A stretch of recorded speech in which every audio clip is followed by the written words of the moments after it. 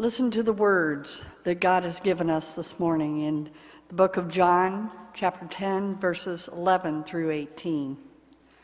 I am the good shepherd. The good shepherd lays down his life for the sheep. The hired hand, who is not the shepherd and does not own the sheep, sees the wolf coming and leaves the sheep and runs away. And the wolf snatches them and scatters them. The hired hand runs away because a hired hand does not care for the sheep. I am the good shepherd. I know my own, and my own know me. Just as the Father knows me, and I know the Father. And I lay down my life for the sheep. I have other sheep that do not belong to this fold. I must bring them also, and they will listen to my voice. So there will be one flock, one shepherd. For this reason, the Father loves me, because I lay down my life in order to take it up again. No one takes it up from me, but I lay it down of my own accord.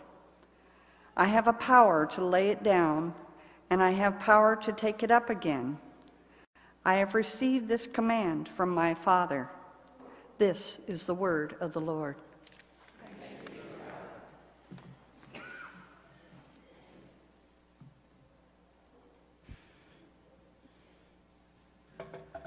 I want to thank all of our musicians today. It's been a wonderful morning of music, as always, here at First UMC. We uh, are definitely blessed with many groups of wonderful musicians, and uh, that is a, a thing not many uh, churches are blessed with, so we want to thank you all for your hard work and your sharing that with us.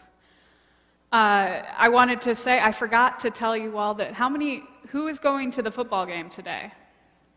There is, is anybody in here? Okay, we have two. They're Vikings fans, I know this.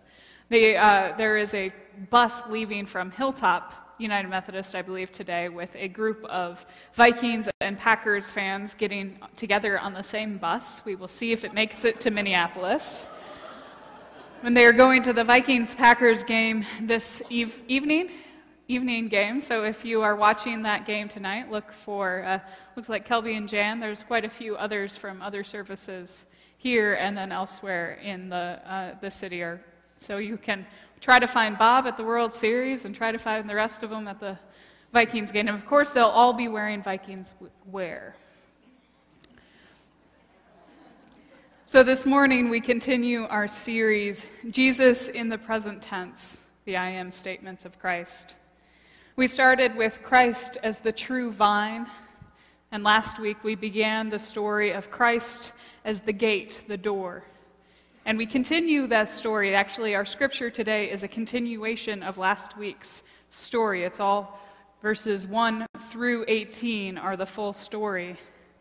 But let's go back to last week first.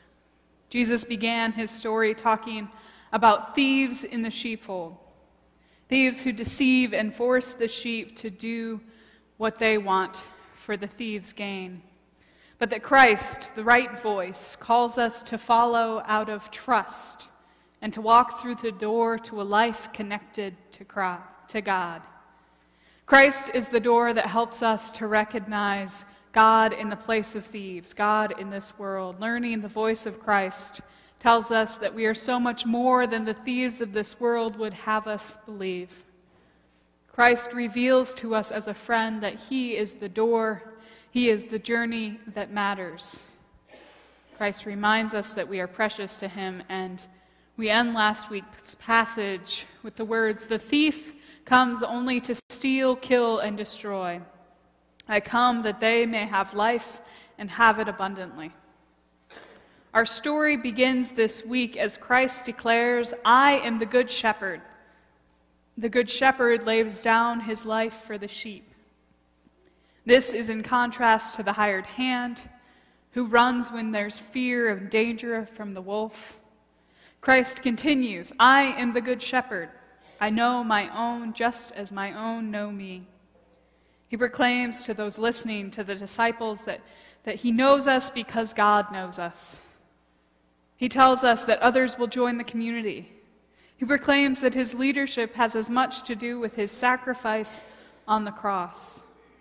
Because of his willingness to sacrifice, he retains the power to choose, the power to live, and to be the shepherd. Christ is the good shepherd, the one who knows us best.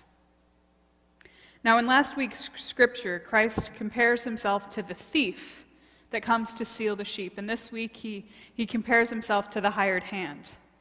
Like the thief, the hired hand is looking out for himself and nobody else. He's hired to care for the sheep, but instead, he's not invested. He does not know the sheep. And so, in the first sign of trouble or danger, the hired hand runs away. The wolf comes near. Instead of thinking about the well being of his sheep, he runs away, leaving the sheep to slaughter and scatter. See, the hired hand is only interested in his own well being, his own safety. Christ's words, however, can contrast the hired hand with the good shepherd. I am the good shepherd. The good shepherd lays down his life for his friends, for the sheep. The shepherd again puts the well being of the sheep first, the safety of the sheep. This starts in the sheepfold where the shepherd must put himself physically as the door. But outside the sheepfold, the shepherd must take the wolf head on and keep the wolf from the flock. Now, sheep tend to scatter a little bit when they are no longer in an enclosed space. So, when the shepherd is trying to protect the sheep, the shepherd has to protect sheep from way back up in the choir loft to all the way back over here. The shepherd must somehow protect them from the wolf, must take the wolf head on. You see, humanity is the sheep, and Christ is the shepherd laying down his life on the cross. The cross is always, always present in the book of John. I told you last week that if the author of John could say three things when he really want, was trying to only say one, he did. Everything has multiple meanings, and the cross is central to all of those. If the, uh, the author of the book of John, for the, him, the cross is in every story. The Good Shepherd willingly, actively risks his life, gives up his life for the sheep, never losing the ability to take it back. How many of you know um, author and theologian C.S. Lewis? quite a few. This service wins that game. They know you all know him more than the other services.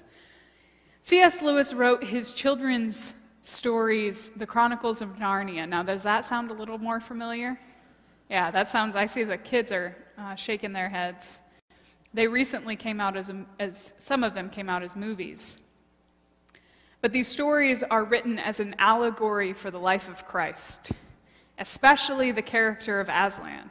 Now, if you've only ever seen maybe a commercial for the uh, movies, Aslan is the lion.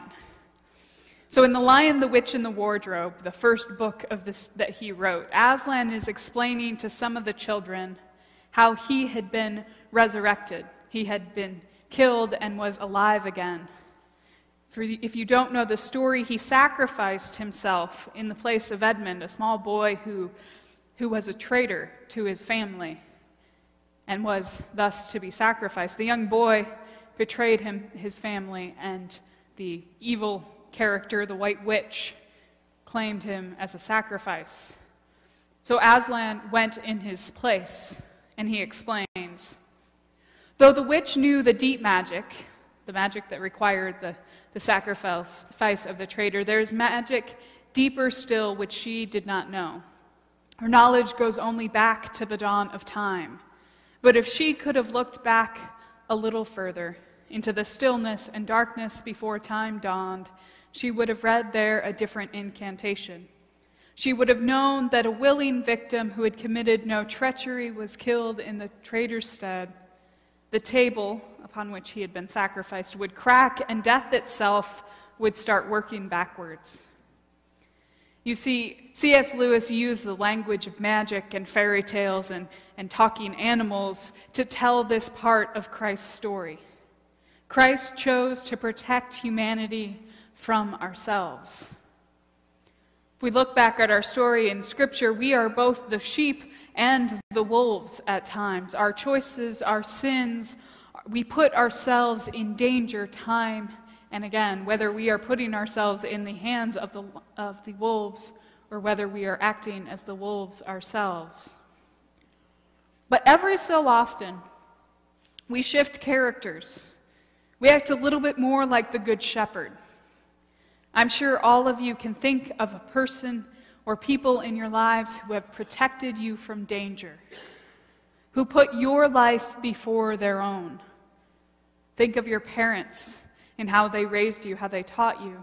Think of a, a teacher, a friend, maybe an organ donor, or a stranger. Many of you will have heard this week of yet another tragedy of guns in our schools. In Sparks, Nevada, a young boy began to shoot his classmates. He could possibly have caused another massacre, one we're all too familiar with, if not for his eighth grade teacher, Michael Landsberry. This man, he, he gave his life this week to save his students. No other students were killed this week. This is a story that we all recognize, sadly, too often. Not just this week, but other times. A few months ago, there was a, an admitted school administrator who, who talked the gunman into giving himself up. She retained her life. She is a hero because she convinced him. She talked about the love of God and convinced him to put the gun away. Think about those people who daily risk their lives for others, or who daily risk their well being to protect others, to comfort others, to be there, to be a first responder, to be there in times of danger. These actions are the Good Shepherd. These actions are when we act like Christ. But they are not the only reason that the shepherd is good. Christ continues. Christ says, I'm the good shepherd twice in our story today. The second time, he says, I am the good shepherd. I know my own, and my own know me. You ever noticed how frustrating it can be to get to know an enemy? I want you to think about someone in your life. Think about a oh, an old enemy, a personal a personal enemy, someone who a boss that was terrible, a friend who hurt you, a a bully from high school, a bully at work. Think of somebody who has just made your life kind of miserable from time to time. Now, I had a boss in college who was a real, real jerk. I'm, i know it's kind of mean to say, but he was. You can ask my husband, he'll agree. He had a lot of anger issues, and he often took them out on his employees. And I was very comfortable hating him, just flat out hating him for the first year of knowing him. But then, like often happens, he did something to frustrate that lively hate in my heart. Thanksgiving came around, and he invited me to dinner.